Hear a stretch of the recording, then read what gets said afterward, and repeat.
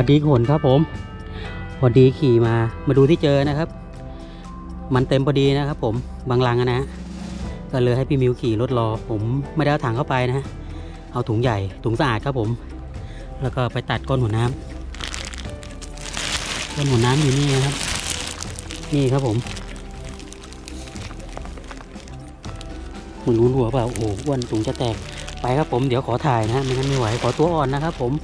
ลังมันไม่ใหญ่เท่าไหร่นะครับ เดี๋ยวไม่คุ้มนะไปครับผมหากันต่อ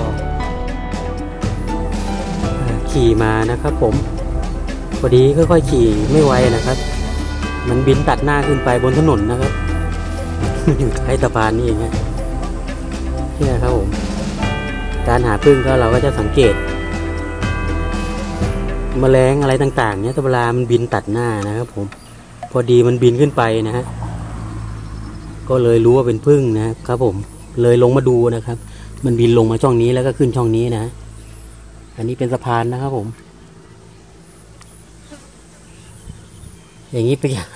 ไปเอาท่าไหนไม่ได้แล้วนะครับ ผมเพราะว่าไปทุบไม่ได้นะครับ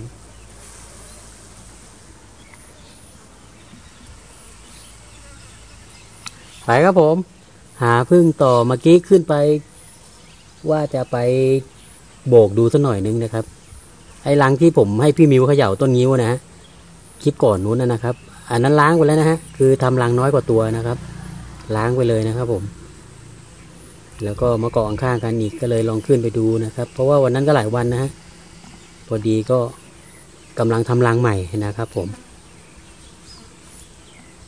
บางที่มีน้ำบางที่พิ่งทำรังน้อยกว่าตัวนะครับ ไปเขย่าดูเนี่ยถ้ากลางๆมันแข็งๆแสดงว่ามันทำรังน้อยเดียวนะครับ ผม ไปครับผม มาเจอรังไม่ใหญ่นะครับ สังเกตที่กิ่งขาวๆนะฮะรอยมันเกาะนะครับ จุดขาวๆนะนะฮะ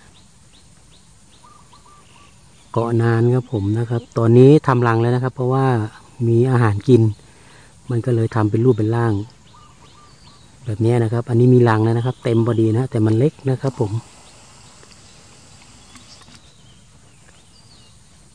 เล็กมากครับ ก็ปล่อยมันนะครับ ผมไม่เอาไม่ไม่สูงนะ